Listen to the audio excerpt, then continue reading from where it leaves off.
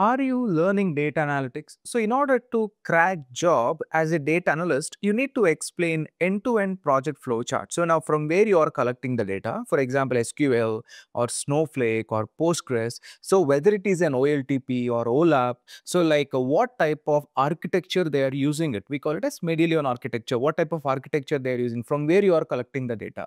So how you are developing the particular report, Power BI or Tableau, and uh, what KPIs and what metrics you demonstrated there. And finally, how you are deploying it and how the refresh is happening. So this end-to-end -end life cycle is very, very important. So what exactly your roles and responsibilities in your day-to-day -day data analytic job. So to know more about them, you can join my free masterclass. So if you are a beginner or if you are planning to get into data analytics or you are studying your masters and you want to get into data analytics, and if you're worried about how to build a portfolio to crack your job, you can join my free masterclass where I will be discussing end-to-end -end data analytic lifecycle with how you can build a portfolio to get a job as a data analyst. See you in the webinar.